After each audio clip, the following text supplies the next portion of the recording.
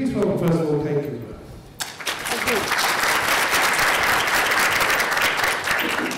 Thanks very much, Andy, and thank you for, for being here in this windowless room. I just felt that there's a pressure to entertain because there's not even a window for you to look out of. So as, as Andy said, I'm Kate Cooper. I'm Head of Research Policy and Standards at the Institute of Leadership and Management.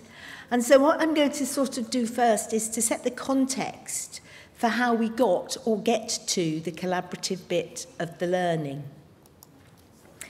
As an Institute of Leadership and Management, you'd guess that we'd have an expectation or we're able to state what we think great leadership is.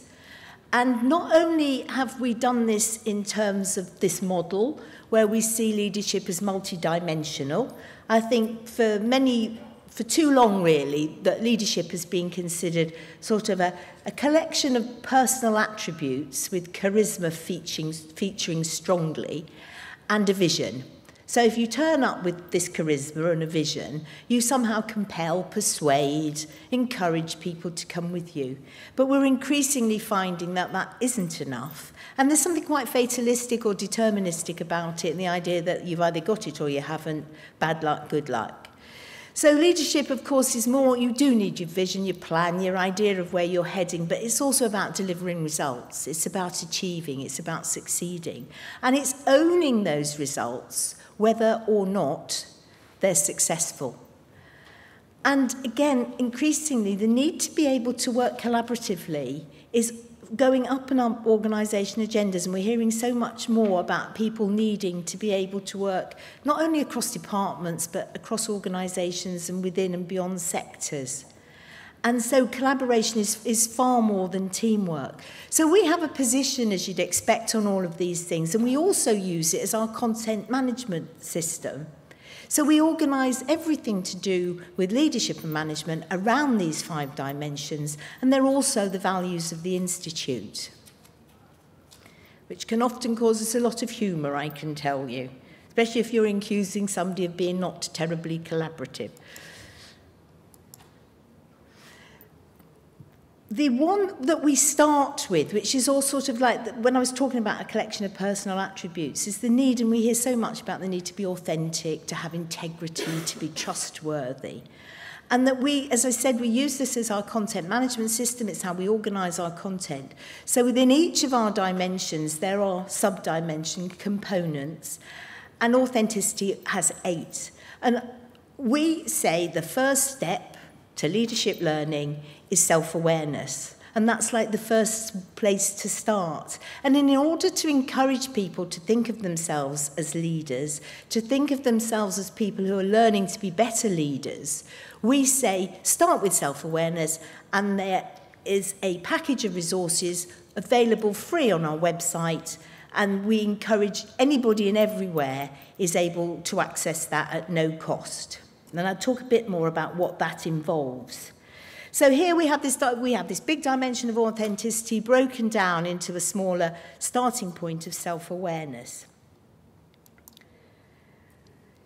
We also have, again, it's freely available because we are a charity and our mission is to inspire great leadership everywhere. So part of that is to really encourage people who don't think of themselves as leaders – to have a go at some of the things that we have freely available that reminds people that you do leadership all the time. And it's not happening you know in c-suites in in big offices. It happens socially. It happens in the family. It happens in sports. There's leadership going on all around you. And often people don't appreciate the fact that they're not getting paid for it doesn't mean that they're not leading. So you can do this online quiz and it tells you where you sort of stack up in terms of our five dimensions and which one currently appears to be the most important to you. So you can see that this person here who's done this, very big on achievement. This is a, just an online uh, quiz selection of statements that you either respond true or false to. It's no more sophisticated than that. But within each of, as I've said, with each of these five dimensions, there are these components. Every component, self-awareness is free, freely available, um, has a set of resources that go with it. So there's a quiz which you can either start with or finish with. There's no number of times. What we often find people like to do is prove to themselves that they know things they've learned informally. So if so if you think, for example, self-awareness has got the, we look at that important to know about your personality, about leadership styles, about unconscious bias. These are things that anybody who's been into self-development, personal development, will really be familiar with. So our encouragement is, well, just go and have a go, see if you meet our standard. You know, do you know enough? Have you done enough? Um, or if, you're not, if it's new and you've never heard of these things, we've got lots of things that are enable you to support that. Now, if you meet our standard, you get a emailed badge. It's not quite digital, is it? But it does arrive in a digital sort of fashion. Um, and that, that says, well done, and encourages you to go on to do the next thing. If you don't, then you get some personalised feedback because you get feedback around. What you don't get is a, is a list of right and wrong. What you get is these are the themes that you seem to get that, that you were weakest on. Well, again, again, we don't use that language. It's all about where you can develop, where you can improve, where you can have another go. The only, you can do these quizzes as many times as you like. The only barrier we put in the way is that we say wait 24 hours. You're not, you have to wait 24 hours. And that really is to encourage people to actually do the learning rather than just keep practicing the quiz. So you've done really well. And we've, you've got your self-awareness, you've met the standard, you've read all our resources, you've actually even possible have met done and completed the scorecard, and this is then we, in the realms of a membership benefit, you've done all 49. So you are incredibly knowledgeable about all those aspects of leadership and management that we've identified as being really important. Now, this is not really, this is there's some like, new features. The scorecards are quite good compared to others. I think the personalized feedback's really quite good. You're very confident with our content because it's endorsed by the Institute of Leadership and Management. But it's still e-learning, she says sadly. So that's a picture of a digital badge, because I thought you were quite excited about that. Um, the idea, I, I'm sorry, there is an irony about having a digital badge emailed to you so you can print it out. But um, maybe in your feedback you could say, we find this really ironic. And then I can feed that back to our digital team. So you, you're allowed, or we encourage you, and this is where we started to, to get beyond the e-learning. This is where we were realizing that this isn't terribly, this is great, and people are undoubtedly learning, and people do love doing quizzes, and it becomes quite compulsive. And we were getting people completing the 49 component scorecards in a weekend. And, but it's then, well, good, you know some stuff. But leadership, remember, and that's of course what we're trying to encourage, is relational. It's very, very difficult to lead. You can lead yourself and you can do a good job. But essentially, it happens in organisations, however small, because people relate and identify and have to work together. And going back to what I was saying about collaboration, that's becoming more and more important.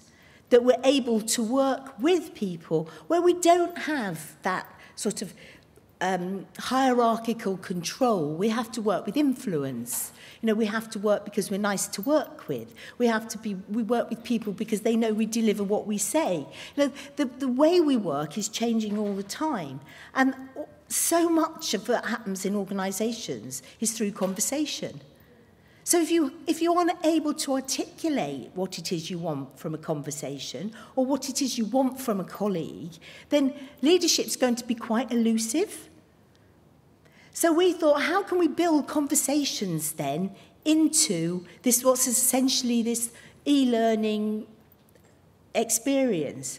So we've set up the, that we have the technology. So now when you've completed one of the dimensions, so going back to, remember I showed you authenticity that had our eight components, we encourage you to book a conversation and we use Zoom to do that. And we have a very complicated uh, booking system. But what you do is you book a 15 minute slot and then you phone up and you go, well, you go through Zoom, you work and explain to an institute assessor why you've chosen the true and false answer. Because a new scorecard is automatically generated for that conversation and it will draw from all the eight components. And what we found with this, people just love telling you why they chose true or why they chose false. And then that very articulation of their thinking, it's improving their understanding of the choices that they make. So it's not about it, of course, there is a, there's a domain there's a, of leadership and management knowledge. I'm not disputing that for a moment. But the sense that you make of it and how useful it is where you work is often in how you talk about it. And, it, you know, depending whether you're on in, an introvert or an extrovert, extroverts particularly like to say things and then the sense comes in the words. Whereas the introverts tend to be a bit more sensible and they think things, and then this, then the sense comes from the thinking. But conversation is, is important to both of those sets of people. So we decided that these conversations were really important and we'd give them a go. And the feedback that we're getting, we've been running them for going on for a year now, is, is fantastic. They're absolutely loving them. But then, of course, as I told you, we had those people who were doing the 49 components and somewhat addictively. Others uh, done the five conversations, so they'll have an authenticity conversation, a vision conversation, achievement, ownership, and then they're saying, well, what next? And this is where I think we're getting into a really collaborative learning space. I've taken this diagram, most of you here would, wouldn't be here if you hadn't heard of Jane Hart and her um, somewhat radical views, I feel, on uh, social learning. I can say this because I actually used to share an office with her, so she knows that we don't always agree. Um, but where she does recognize and has absolutely the vanguard of that is the power of the social, the informal, the finding yourself things to know. Uh, you can find out things yourself. But of course, as we all know, If you're competing, if you're competing with Google as the source of the place to find out, you have no real sense of how good what it is that you're getting from Google. And it's interesting to see that, you know, Don Taylor obviously is asking us to make sure anything we any slides we put up um, we've had a, a very strong message that they've got to be attributed. If we're making claims or we're saying where we got stuff from, where did we get it? And of course, I would always have given Jane Hart credit for this anyway. But so that need to be able to val val validate, verify, fan out your information is, is really important. So, of course, we're doing that for you as the Institute. But that making sense of it and making it work in organisations is the next stage of this whole process of bringing e-learning from a, a solitary pursuit into a collaborative pursuit. So we, my leadership of being the trademark, as it were, for the e-learning um, resources we have, the my we, we find very powerful. So we tend to use my a lot in front as a, a prefix. So what we did with my conversations, and this we've just started, is to build on those things I've been talking about, about the importance of relationships for leadership, that it's about dealing with people, that you can, own, you can learn some stuff from e-learning, undoubtedly. You can read things, you can watch things, and you can be better informed. And there's always going to be a place for that. But the next stage is how often have we you know, heard people say they love the, the face-to-face, -face, they love the training room experience, even if actually people like Jane Hart are quite disparaging of it.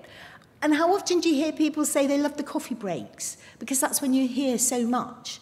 So it's those conversations when people are making sense of the knowledge that they've just heard about or been reminded of or e, you know even heard for the first time new way of thinking that's when the the real change starts to happen in in people's thinking and how they ad adapt to their organizational role.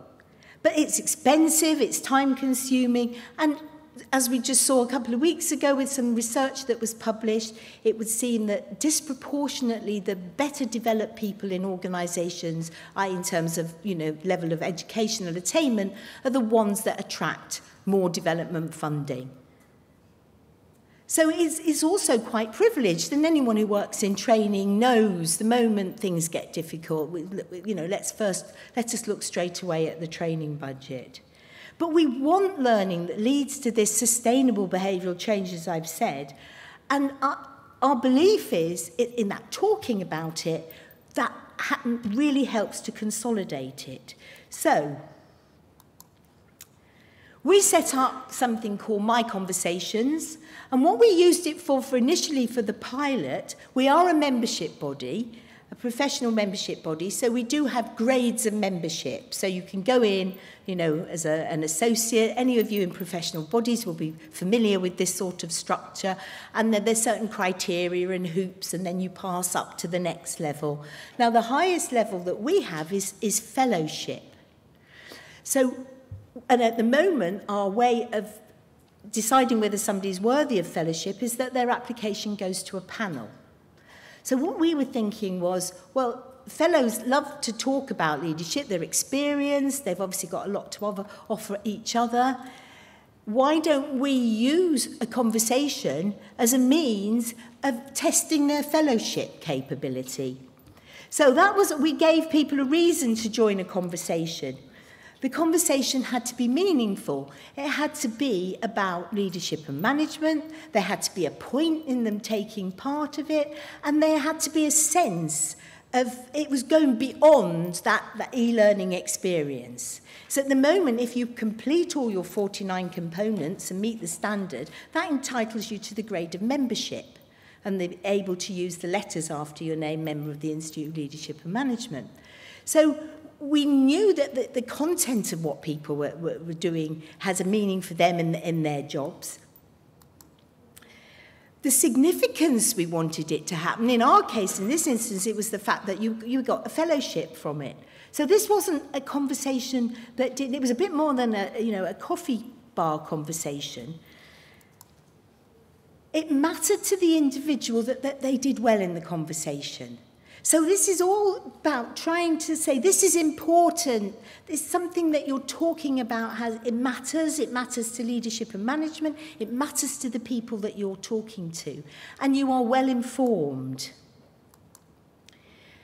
Because what you, I'm sure what you find, if people are on there being with people who are trying to do something well usually helps other people to raise their game. I don't know if anybody of you have, have heard of Peter Honey, Honey and Mumford Learning Styles. I mean, it goes back a long time, but he's a very, very big name in learning for quite a long time. And I can remember being in a seminar with him with some colleagues who usually never participated in anything, put Peter Honey in the room, and they all became brilliant. And it was the, the fact that they were trying to be their best because somebody else was there that they wanted to impress. So there will be that sort of factor. So everybody there wants to seem, wants to put, bring their best game, if you like. And in order to ensure that the conversations were meaningful, significant, and all the other things, they obviously had to have a very tight topic that people could get ready for. So going back to us saying, you know, the first step in leadership learning is self-awareness, what we did was, let me see, ask people to challenge conventional thinking about leadership and management. So as I said, self-awareness, know your personality, understand leadership styles, be aware of unconscious bias. So the first topic for the first conversation was, well, why don't personality tests work? So the, not only did they have to sort of take their own position about personality tests and where they were, but they had to know the counter position as well. So when we, people were saying, well, what next? This to us is, is saying, yes, there is a, a knowledge basis and that is really useful for everybody. But when it actually comes to making a difference in the organisation, to make you a better leader and manager, it, you, you can't just read off, you know, this is 10 top, 10 top tips to teamwork. I'll go in and do those on Monday. We all know the difficulties with learning transfer. And if you are a proponent of or a critic of personality tests, for example, isn't it useful to know the arguments from the other side? To be able to speak with authority and confidence about the position that you're taking with anything to do with leadership and management. So this, there's a challenge to these conversations. And of course, as I've said, it's the articulating your, your thoughts, it's putting them into words that help you make sense of what you think about things. Because the conversations we have in our heads with ourselves are not usually as helpful, always, as the ones that we have with other like-minded people who are as interested in the ideas that we're talking about. So what we're trying to replicate in, in these conversations in a cost-effective, accessible way no geographical constraint, of course, was to replicate that coffee break experience. You've heard something you don't like about personality tests. You find somebody who's heard the same thing, read the same thing, watched the same webinar in this case, and you've, you want to tell them about your thoughts. You want to listen to what they think. And that's what we've been doing with these online conversations. How am I doing? Have I got time for my task? So what I would really like you to do now in the, in the last five minutes is on your, can you get one, I know it's hard because who wants to be the volunteer, but I would like a sentence on one of the, the pads, that, a page that's available on each. What makes a great learning conversation? A conversation that you participate in where you feel, I've learned something from being in that conversation. And that's quite different from reading something or being told something. So what makes a great learning conversation? And if you could get, you know, agree some sort of bullet points definition on each table, I'd be really grateful. Hello, I'm really sorry to say how important I think conversation is and then try and stop you when you're doing it. Um, there, there is an irony about that and another irony for you today. Um, so by just, I'm go- what I would like to do uh, is collect those, and Andy said he'd help me with that. And what I'll do is synthesize them then, and then I'll put them on, I'll publish them on our website as what, you know, what a great learning conversation is. But it's all right, they'll all be anonymous unless you particularly want them attributed to you. And if you do, please put your name in big, bold capitals so I'll know that you really want the shout out. Um, do um, connect with me on LinkedIn, that's one of my favourite things. But just by way of conclusion, this is an experiment we've been doing. And I think the three things that we've found that, that the learning from it has been incredible from all these conversations we've been having. Remember, these are all, nobody's in a room. These are all virtual conversations. We've not had anybody in the same room having them. People have to be clear why they're there. Now, we, were, we use fellowship in this instance. You can link this to all sorts of other things. And of course, being part of a, a particular course, being part of a project, there's got to be a clear purpose. Why are you talking to all of these people? Because I think we all know if you just say, come together and have an aimless conversation, that is exactly what you get. They should have a significance, a profile. Um, and by that, I mean that people should know about them. These conversations are happening, they're going on, and they matter. They mean something. And what that means can be quite slight. As I say, you can, you can link it to performance management, you can link it to some sort of, because people love the status and, it's the, and that feeling of being special.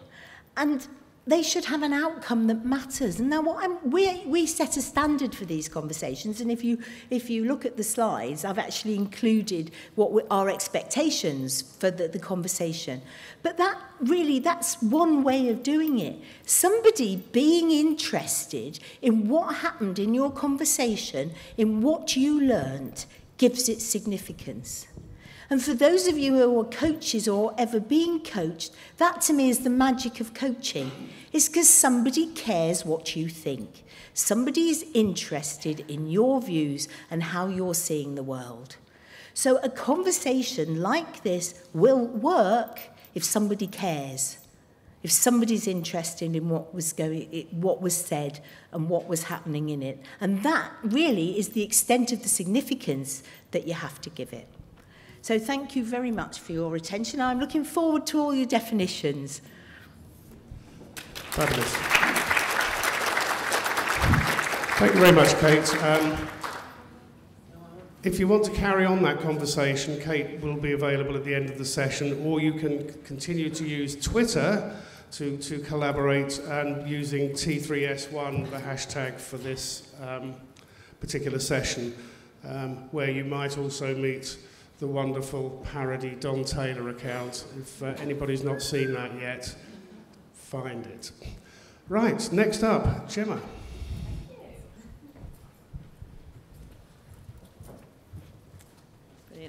Hi folks, um, I'm Gemma Critchley, for those of you who I haven't met before. I'm tempted to wander, but I don't have a mic on, so I'm going to try and stand here. Um, so I head up um, learning innovation and technology for Aviva, and that role basically means I make useful stuff to help people do their jobs.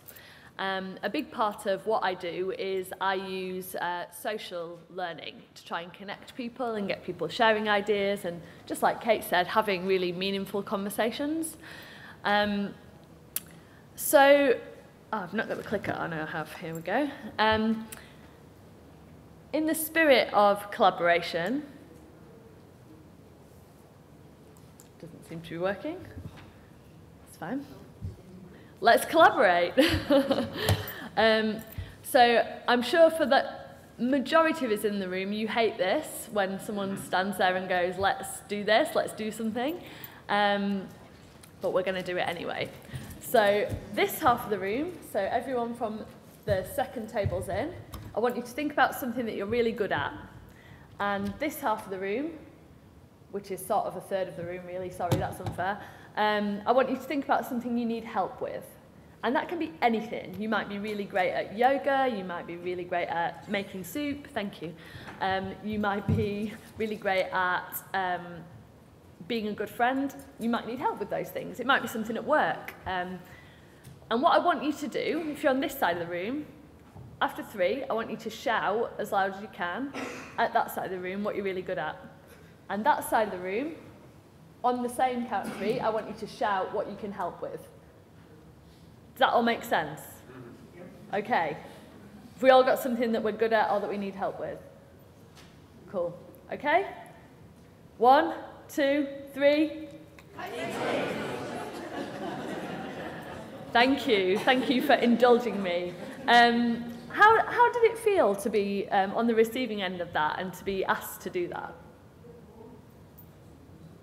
We were very quiet on this side of the room. You're quiet, Neil. That's not like you.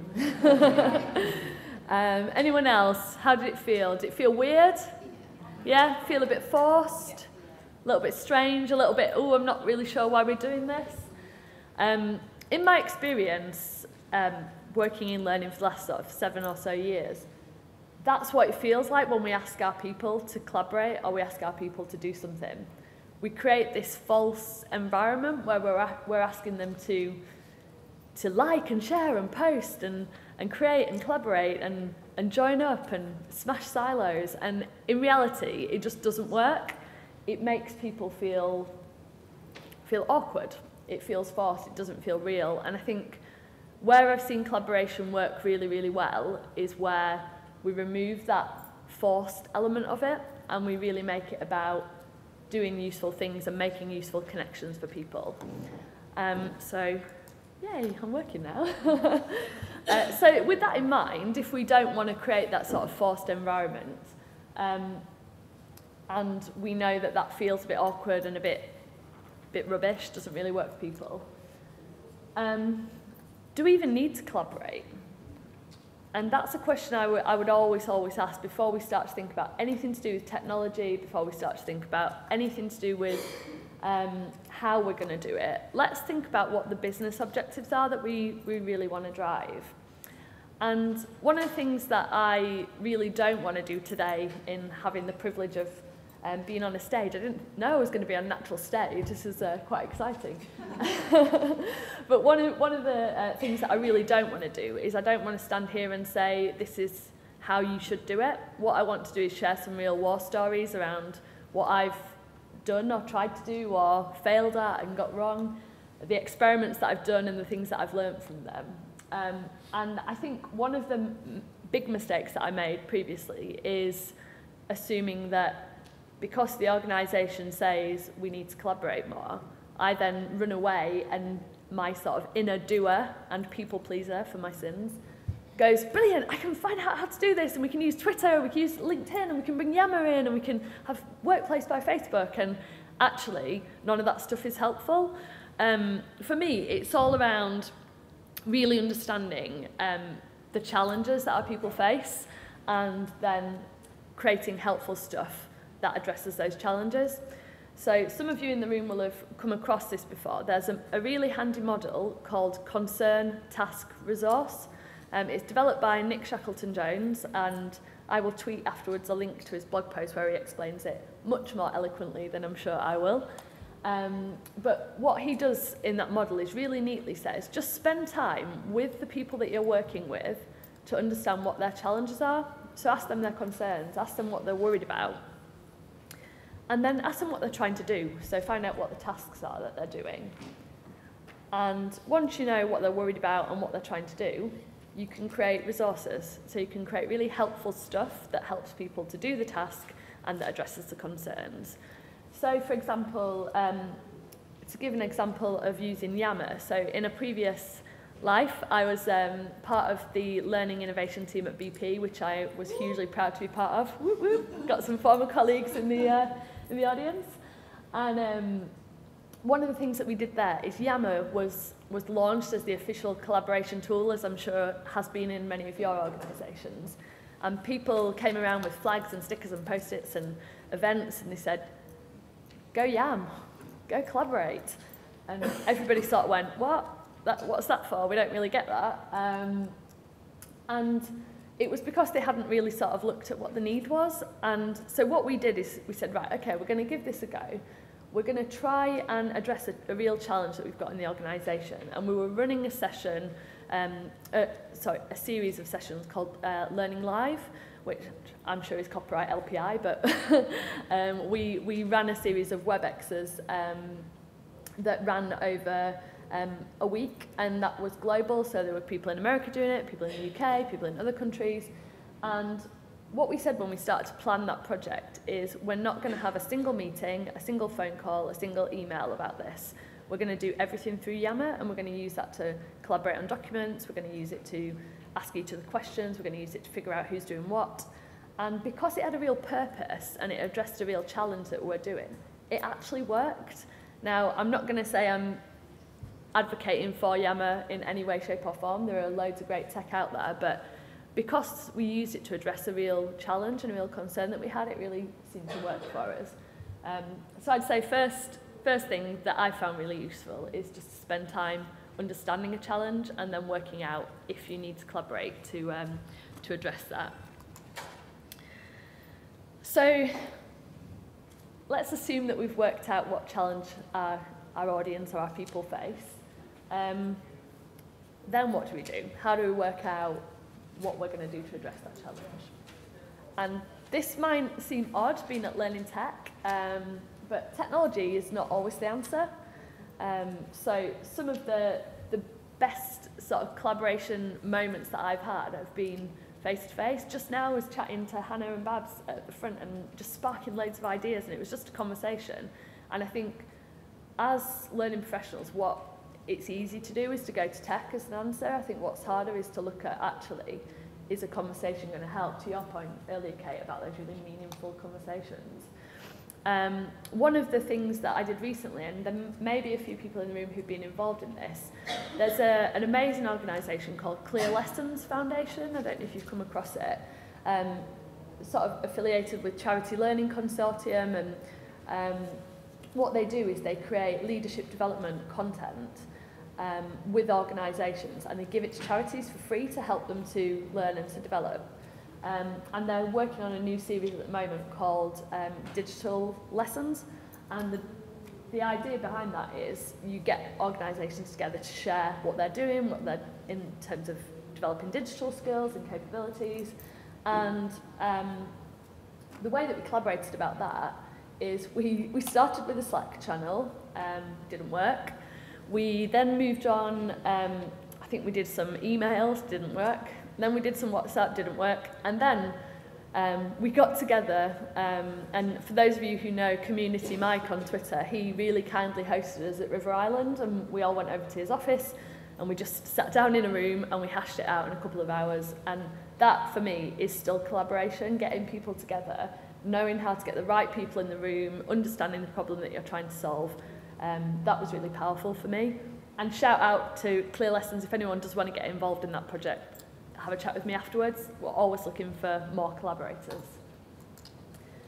Um, so technology might not always be the answer, but sometimes it is going to be. Sometimes we're going to say, yeah, actually, a WhatsApp group's really going to help those people, or Workplace by Facebook is going to help those people.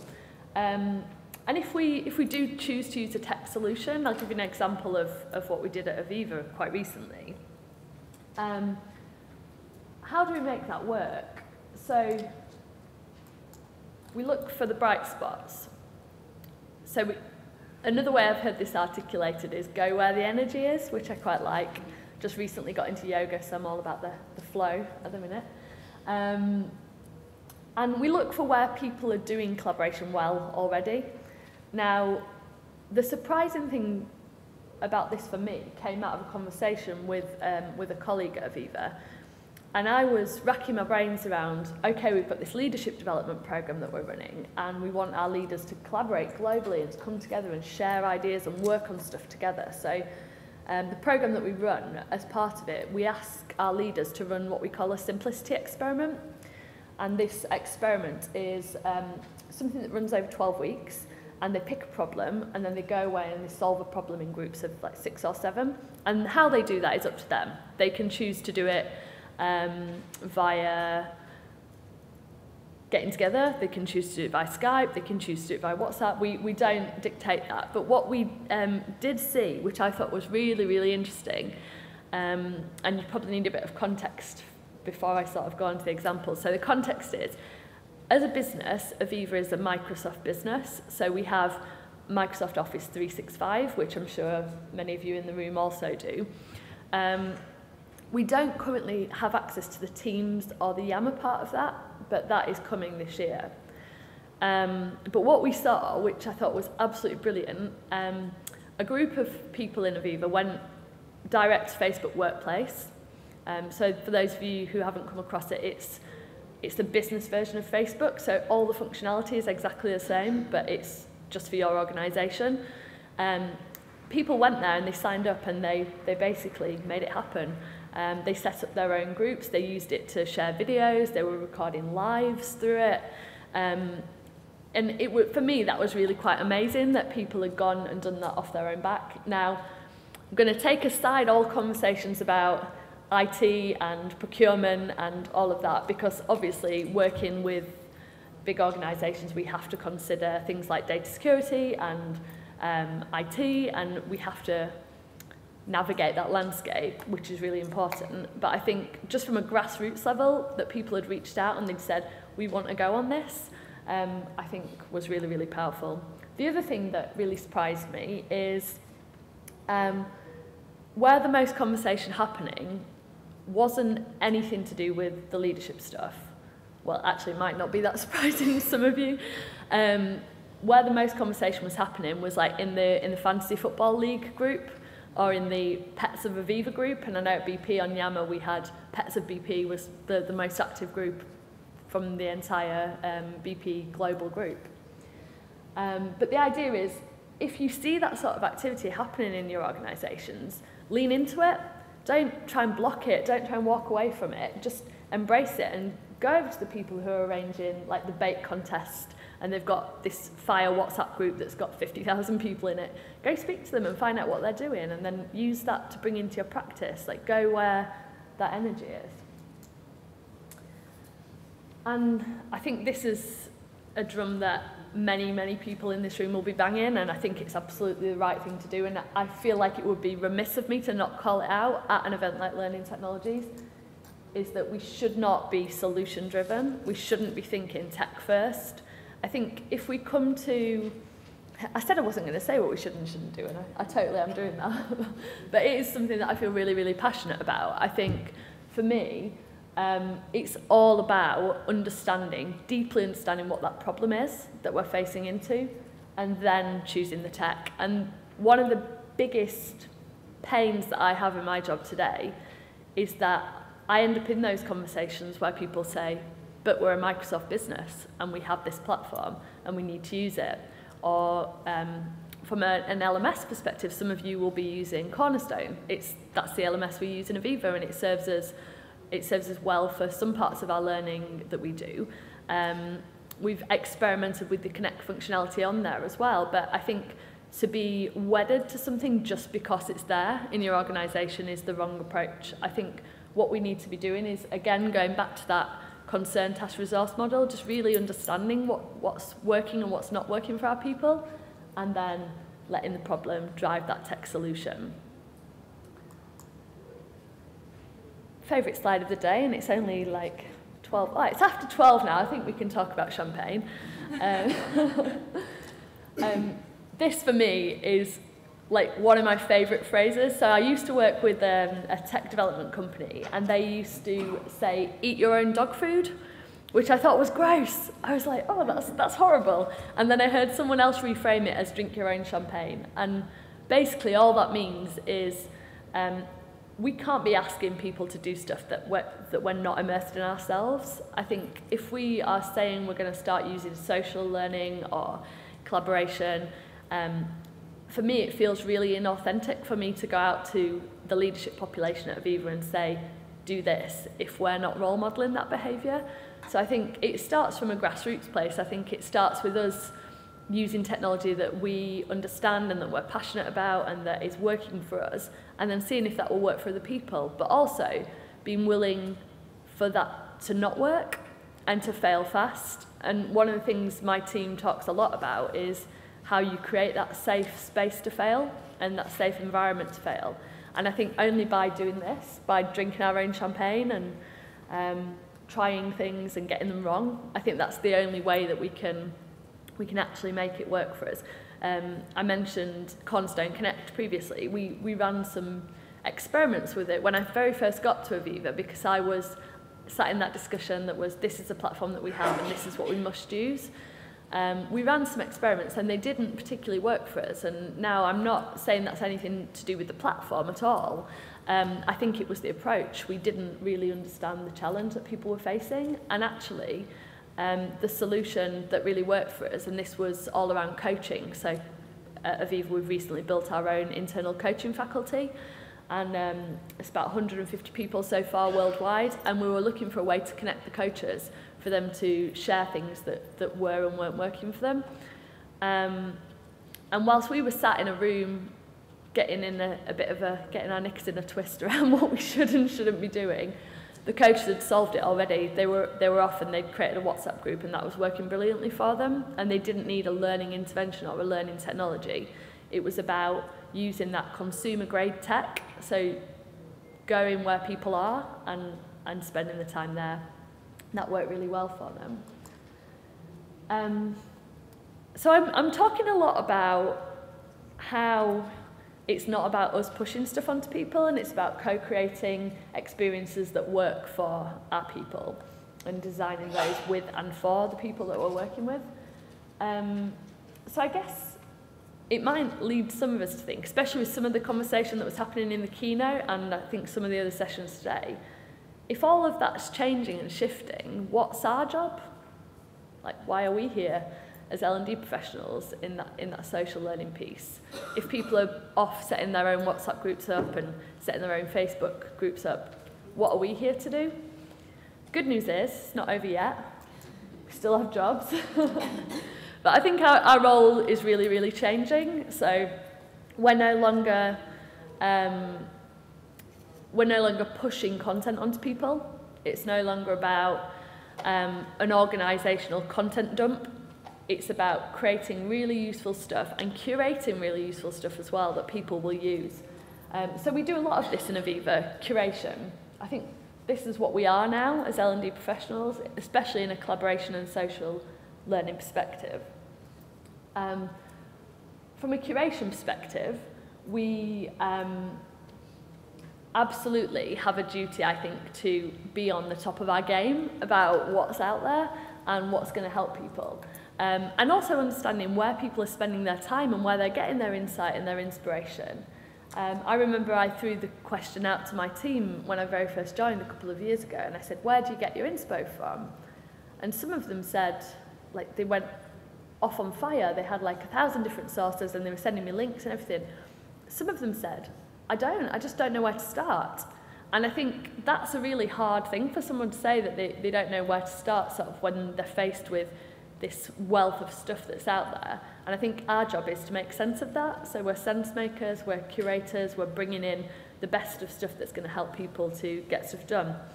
Um, I had a really interesting conversation last week. Um, I was away with my team doing some development. Um, we were lucky enough to go to Brighton for the week, which was lovely. And um, one of the conversations that we got into there is about a new, um, a new thing we're developing. So we're, we're working on a single source of truth for all leadership content in Aviva that will help people to share and, and get into conversations around it, and it just helps to make sense of it. And uh, one of the guys in my team, a chap called Paul O'Hara, who inspires me every day, he, um, he said to me, um, how is this better than Google? And I think that's the question we need to ask ourselves. If what we're creating can be easily Googled, why are we doing it? I think the real value comes is in when we're sense making, that stuff that you can find out there, and we're bringing it in in a relevant, timely way. Um, I think we also have a role to play as connectors. Um, so it's all about fostering connections, creating connections, role modeling behaviour, um, engaging people to, to be those role models. And I don't just mean senior leadership either. I mean, looking at, going back to the bright spots piece, looking at where the passion is in the organisation for connection and really tapping into that. Um, so yes, great, if you can get your chief exec tweeting or get your chief exec on Yammer or Facebook Workplace, brilliant. If, um, if you can't, go where people are doing it. There'll be influencers in your organisation who have power way beyond the chief exec um, through that level of influence that they've built up on social media.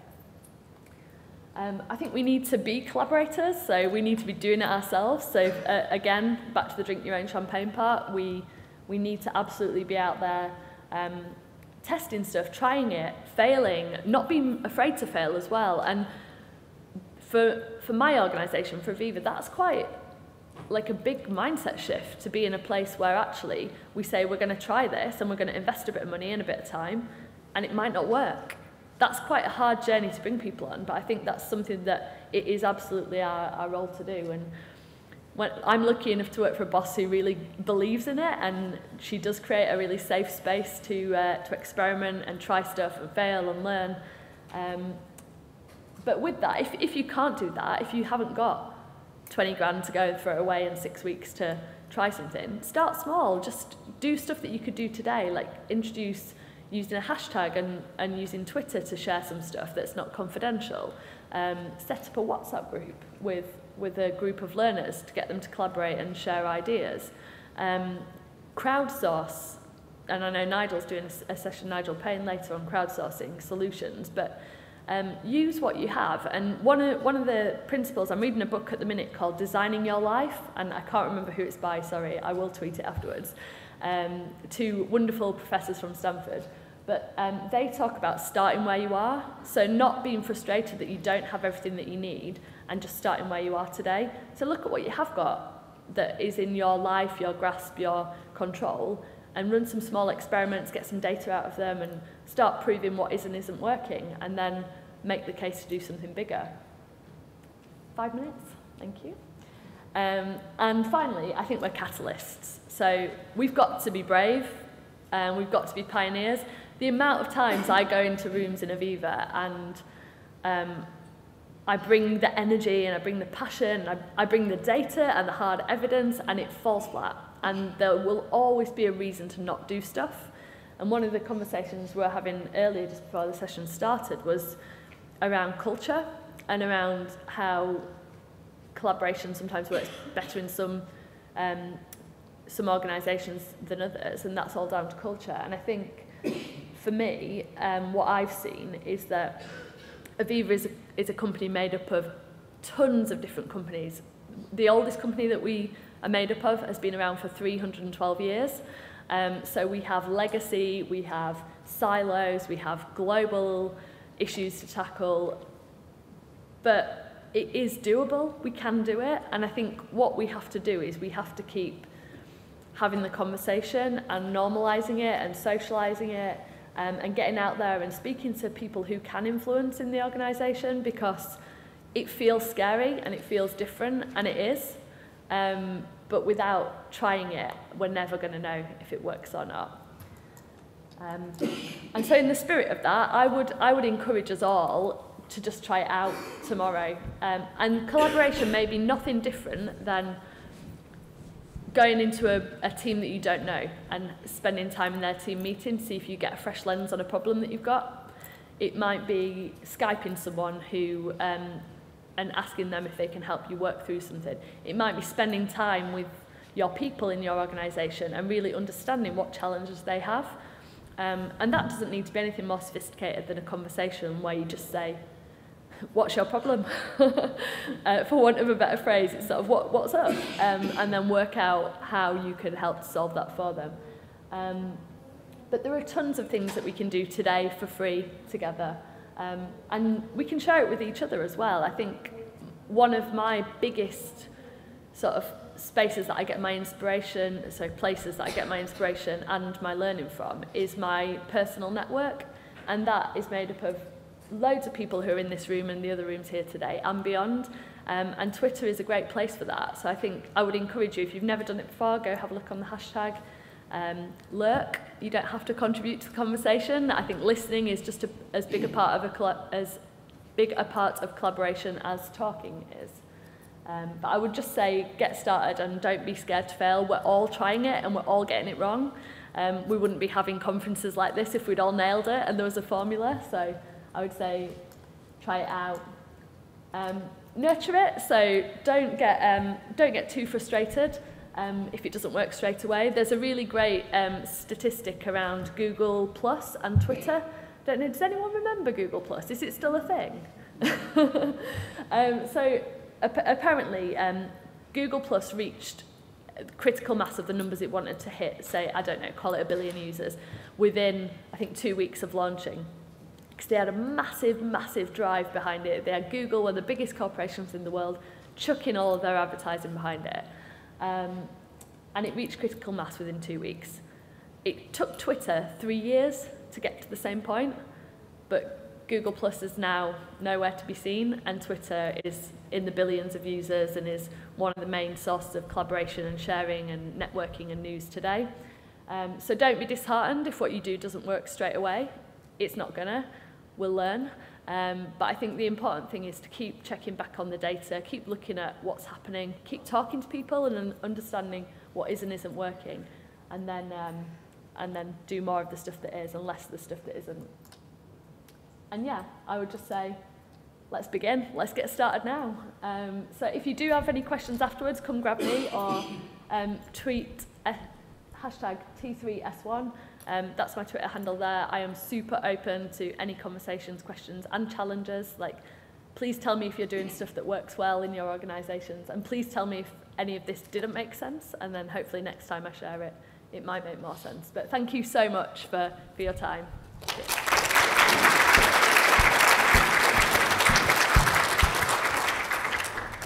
Fabulous, thank you very much.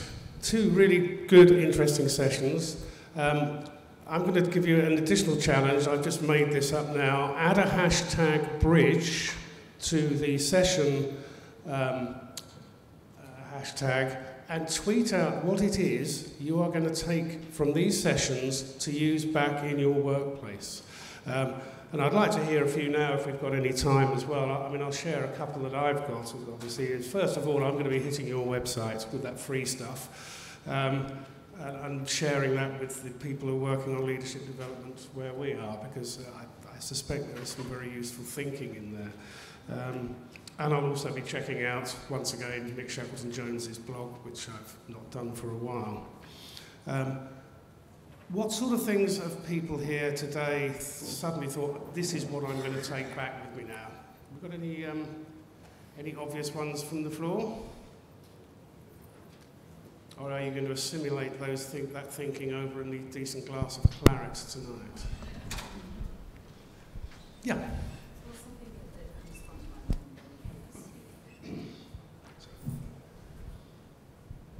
Thank you. Um, so, yeah, something that sprung to mind when Kate was speaking that, that I thought really resonated with me uh, in terms of the conversations is having that platform and that ability to verbalise your feelings and your priorities in a way that then can really help you communicate it effectively internally within your business. Um, so that was just something that, that I felt was really interesting.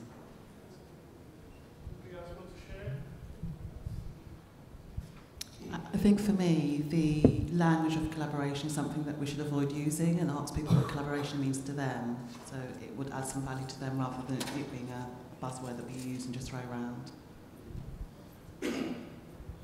Thank you. I think you're absolutely right on that, and that whole point about following the energy. Um, people collaborate in different places. If you're a salesman, you live in Salesforce, so you use Salesforce Chatter. Any other sort of views, or are you waiting for lunch? Fabulous. Well, in that case, put your hands together for two fabulous speakers. Thank you very much.